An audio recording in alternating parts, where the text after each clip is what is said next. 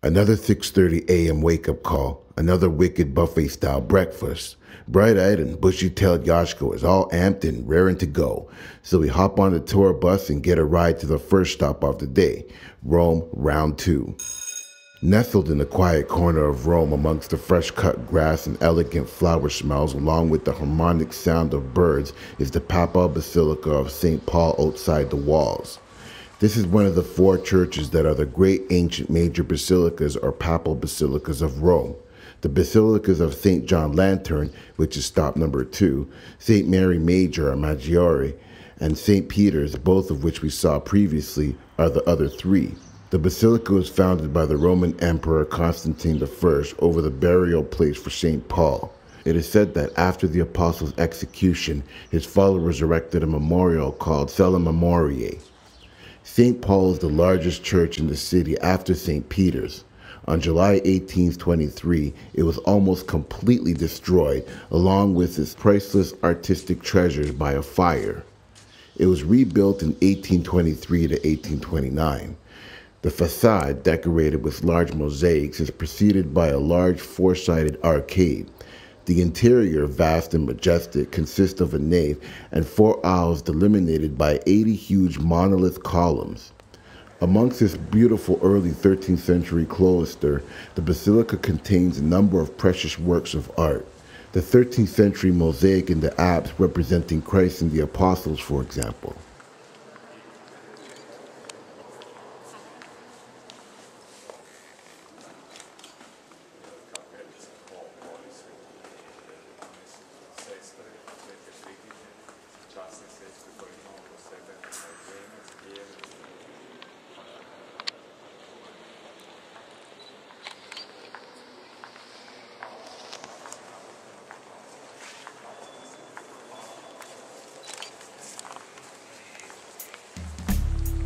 We walk through the Porta San Giovanni, a gate in the Aurelian Wall of Rome named after the nearby Basilica of St. John Lateran. Against the skyline, 15 statues of Christ and flanking saints is on the top facade of St. John Lateran, second only to St. Peter's in importance.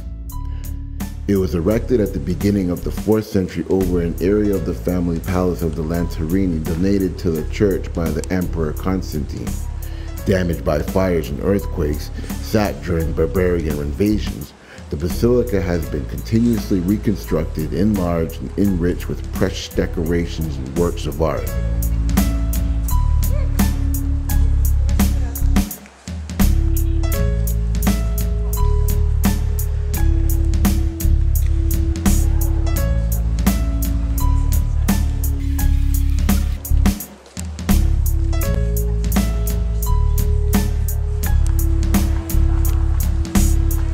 Building on the other side of the piazza is the Scala Santa.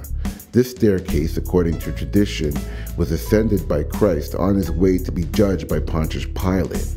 The portrait of Jesus above the altar was thought to have been begun by St. Luke and finished by an angel, earning it the name Picture Without Hands. However, there's something immoral about the Pope Benedict bobblehead sold by the vendor in the front of the Scala Santa. Sheesh. Yashko is a genius, taking us to the four major basilicas of Rome. Feeling happy, we marched down the street of Roma, in which case I thought the Italian national anthem would be fitting. It is hard to describe the surreal feeling of walking down the street, turning a corner and seeing the Colosseum in the distance. Seeing it as a backdrop to a much more modern civilization is crazy, like who dropped this old building in the middle of the city? Once you get used to the weirdness, it all sort of works. It fits. It's phenomenal, to say the least. The elliptical amphitheater in the center of the city and the largest and greatest works in architecture ever built by the Roman Empire. Its construction started between 70 and 72 AD and was capable of seating 50,000 spectators ready to watch gladiatorial contests, public spectacles, animal hunts, executions, reenactments of famous battles, and dramas based on classical mythology. Although in the 21st century it stays partially ruined because of damage caused by devastating earthquakes and stone robbers, the Colosseum is an iconic symbol of imperial Rome and one of Rome's most popular tourist attractions, still with connections to the Roman Catholic Church. Speaking of stone robbers, we went down to take some pictures of the Arch of Constantine, and in coming back, we ran into some drunk Roman guards. After some rude jokes about black people having huge genitals and some pictures all in good fun, they asked me for 20 euros. Are you f- They got offended. Goga was ready to take them inside the Colosseum and slap them like Russell Crowe did in Gladiator. I pulled Goga back, giving them five euros, and told them to fuck off before I slit their throats with their plastic swords. Shit. Must be all that leftover energy from the ghost of Gladiator's past floating around this place. Before they brought more guards, we dipped out and headed to the Basilica of St. Clement. This is a Roman Catholic minor basilica dedicated to Pope Clement. Three phases of Rome's long religious history lie layered one above another. The first is encapsulated by a peerless medieval church from 1108 to 1130, beneath which lies a second older church founded in 392. Below this again extend the ruins of a temple dedicated to one of Rome's most important pre-Christian cults. Next was St. Peter in Chains. This is a minor basilica best known for being the home of St. Peter's chains allegedly used to bind St. Peter in Jerusalem.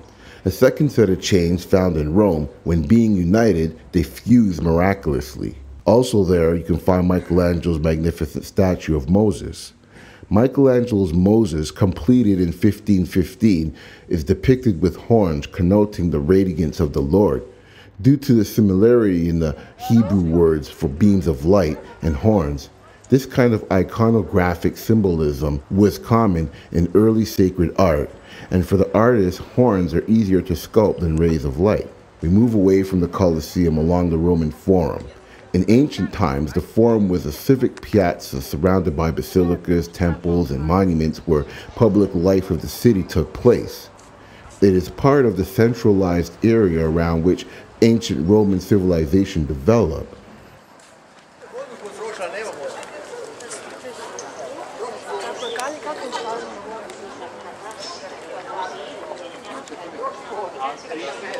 From here, we come up behind Capitoline Hill which is one of the seven hills of Rome. The Capitoline contains few ancient ground level ruins as they are almost entirely covered up by medieval and Renaissance palaces, now housing the Capitoline museums that surround the piazza, a significant urban plan designed by Michelangelo in 1536 to 1546.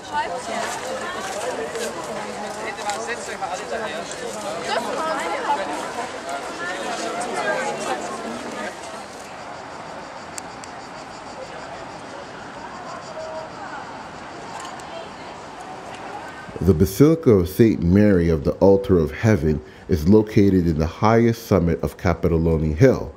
It is still the designated church of the city council. According to tradition, the church stands on the site where Augustus saw the apparition of a woman holding a child who said, pointing to the altar where she is sitting, a prophecy of the coming of our Lord.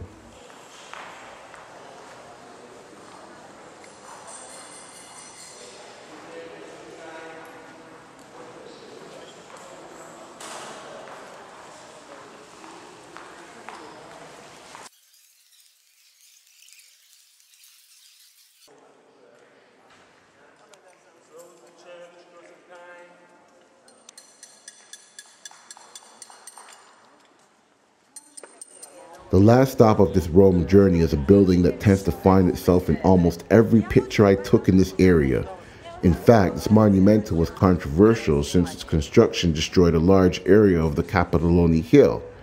It's often regarded as pompous and too large, clearly visible to most of the city, boxy in shape, lacking a dome or tower, glaring white, and highly conspicuous amongst the generally brownish buildings that surround it.